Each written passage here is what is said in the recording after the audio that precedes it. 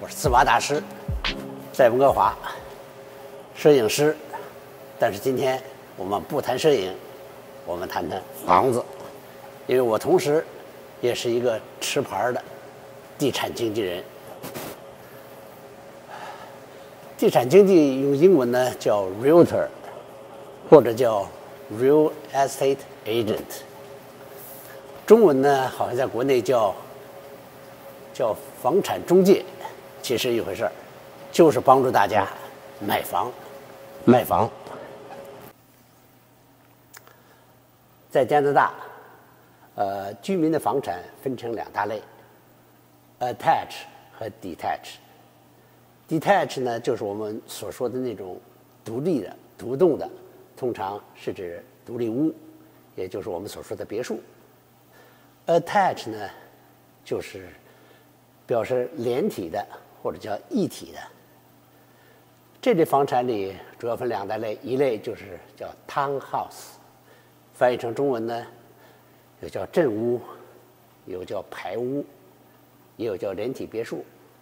还一类就是公寓，也就是楼房，我们所说的啊，不管是高层、矮层、水泥、木质，都属于这个范畴。今天主要说说公寓。好，我们先看一下温哥华地区这个房屋市场的总体的走势啊。这是大文地产局的发布的一个从一九七七年到现在这个房屋市场走势的一个图。我们可以看，蓝色呢是独立屋，它现在价格将近两百万；呃，红色的是联排屋，大概一百万；下边是公寓，大概是七十多万。呃，温哥华地区现在这个十月份最新的市场报告呢，给大家看一看啊。呃，第一个就是平均售出价格，现在平均是七十四万七，比去年同期上涨了将近百分之十。挂牌天数十一天，也就是说每个公寓挂出来十一天，平均就售出去了，很快的。每平方英尺的价格呢，现在是八百五十一加币，也是比去年涨了。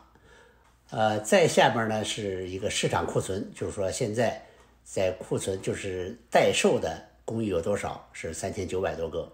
库存减少了百分之四十一，就是说现在库存很少了，市场还是比较火热。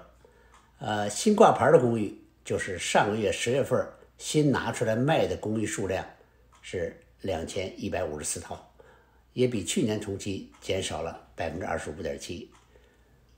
我们看一下专家对明年大门市公寓市场的预测啊，他们认为稳中有升。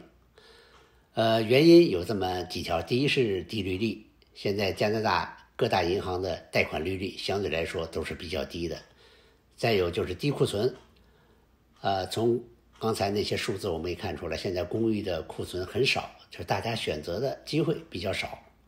再有就是需求，需求体现几个方面，一个呢就是新移民，加拿大未来三年计划每年四十万，一共一百二十万移民要涌入加拿大，相信多数人都会选择多伦多和温哥华。而且新移民来了以后，买房是首选，公寓相对比较便宜，会是他们多数人的选择。还有一个原因呢，就是留学生，疫情过后大量移民留学生又回来了，他们或者租房或者买房，这都会给公寓市场，呃，起到一定的推动作用。当然，上面说的这些都是一些专家的预测啊，呃，我个人觉得呢，是不是买呢，要取决于你。如果是刚需的话，我觉得什么时候你都要买；如果是投资一话，投资的话，那就要慎重一点，选合适的机会。公寓呢有很多特点，我觉得跟独立屋比起来，除了价格的优势以外，它还有以下几点。第一个呢，就是公寓通常都建在市中心，这种楼房啊。所以住在公寓呢，显然交通方便、购物方便，呃，一切都方便。公公寓的第二个优势呢，我就觉得它的安全系数要比独立屋要好一些，因为它有统一的管理，有大门，有的公寓甚至有警卫。第三点呢，也是公寓的好处，就是你可以免除了。打扫自己前院后院这个烦恼，节省很多 时间和精力。另外，对于爱玩的人来说，出去旅游锁上门就可以走，住独立屋的就有很多要担心的了。第四点，我觉得也很重要，就是通常公寓都有自己的 club house，翻译成中文就是会所。